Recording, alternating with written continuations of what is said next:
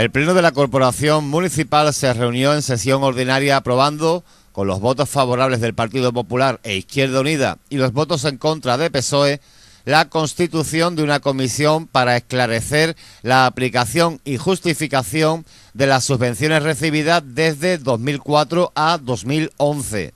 La propuesta argumentaba que, habiéndose concedido un número considerable de subvenciones al municipio sin que se tenga constancia de todos los detalles en cuanto a la justificación de las mismas y la aplicación que de las referidas subvenciones se ha llevado a cabo, se hace necesario crear la referida comisión de investigación. El órgano estará compuesto por el alcalde, los portavoces de los grupos representados en el Pleno Municipal, el concejal delegado de Fomento Económico, la delegada de Hacienda, la directora de la Oficina de Fomento Económico, la interventora y un técnico del área económica. El Pleno de la Corporación ha aprobado una propuesta del Grupo Municipal de Izquierda Unida por la que se manifiesta la firme repulsa a cualquier declaración indecorosa o insultos vertidos por el público sobre los miembros de la Corporación Municipal en el Salón de Plenos así como la repulsa a cualquier declaración indecorosa o insultos vertidos hacia el público por miembros de la corporación municipal. Insistir en la necesidad de la obligación de todos los grupos políticos de ceñirse en los debates al reglamento orgánico, en particular al artículo 63 relativo al tiempo de intervenciones también se muestra la necesidad de que el alcalde presidente haga valer las facultades que le atribuye el artículo 78 y el 79 del reglamento de organización municipal respecto a las llamadas a la cuestión y las llamadas al orden a los concejales. Asimismo, se pide el mantenimiento del respeto en el salón de sesiones en virtud del artículo 80 y que se convoque una junta de portavoces que estudie la modificación del reglamento para que los debates sean más fluidos, constructivos y accesibles para los ciudadanos. La propuesta era presentada con motivo de los hechos acaecidos en el pleno del pasado 15 de diciembre, tras los que el Grupo Municipal del PSOE abandonó la sesión y fue aprobada con los votos favorables de Izquierda Unida y el Partido Popular y la abstención del PSOE.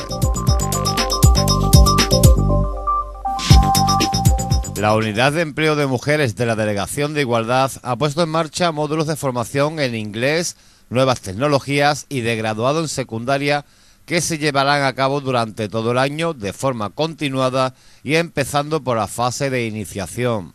Los módulos de formación de inglés están divididos en tres niveles, iniciación, intermedio y avanzado. Se llevarán a cabo de lunes a viernes en el aula de formación permanente de la Delegación de Igualdad junto a la Biblioteca Municipal y tendrá un coste de 10 euros al mes para los gastos de material. Los módulos de animación a las nuevas tecnologías también constarán de varios niveles y se realizarán en horarios de mañana y tarde, de lunes a viernes, en el centro de adultos y el importe para materiales será el mismo.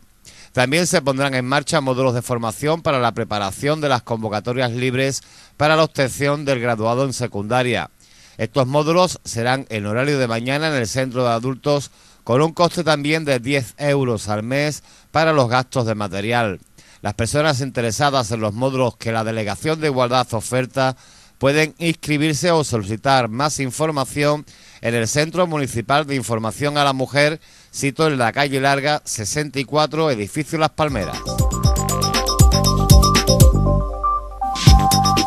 La primer teniente de alcalde y concejala de Fiestas, Cultura y Educación, además de responsable de Guadalinfo de Chipiona, Davinia Valdés, ha participado en la Diputación Provincial en la jornada Alcaldías 2.0 que reunió en el Palacio Provincial a más de 20 alcaldes, alcaldesas y representantes municipales de toda la provincia. Este encuentro estaba dirigido a los alcaldes y alcaldesas de las poblaciones donde se localizan centros Guadalinfo. En la provincia de Cádiz, esta red administra 39 centros ubicados en 38 municipios, la mayoría de ellos con poblaciones de menos de 20.000 habitantes. Son centros de acceso público a Internet desde los que se fomentan proyectos ciudadanos de innovación social con repercusiones en diversos ámbitos como el turismo, la formación, el medio ambiente o la cultura. En la jornada se dieron a conocer ejemplos de buenas prácticas trasladables al gobierno local, los proyectos que se constituyen en el seno de la red de Guadalinfo, así como las posibilidades de mejorar el diálogo entre administración y ciudadanía al objeto de asegurar la participación social en los asuntos públicos.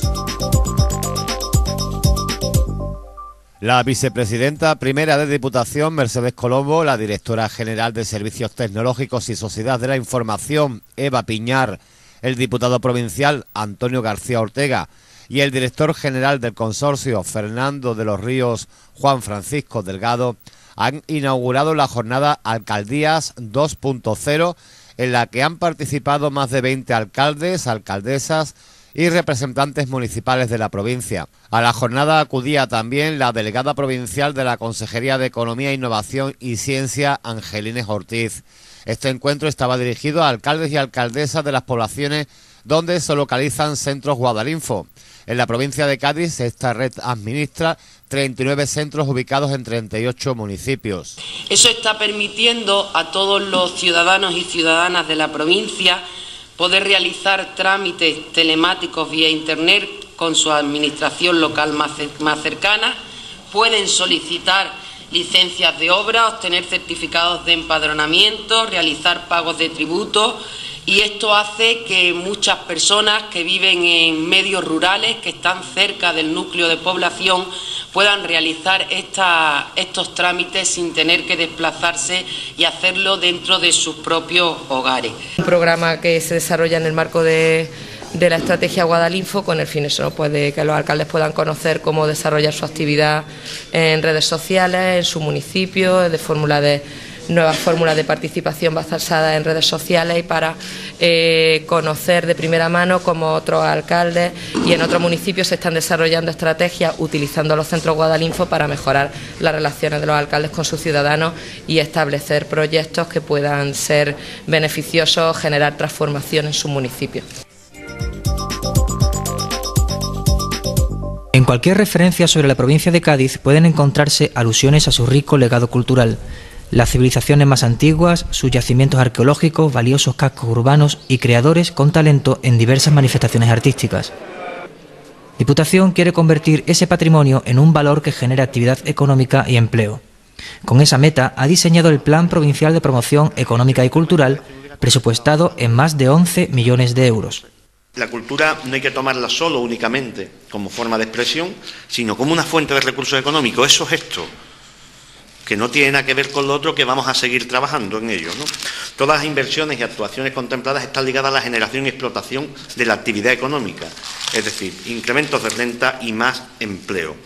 El nuevo plan contempla el fomento de nuevos productos y servicios culturales en los municipios, una mayor vinculación de los espacios culturales con iniciativas turísticas y comerciales, así como la recuperación de patrimonio histórico asociada a nuevas empresas y oportunidades de negocio. Todo desde el respeto a la inversión pública, midiendo con rigor cada proyecto conforme a su viabilidad futura y su capacidad para generar empleo.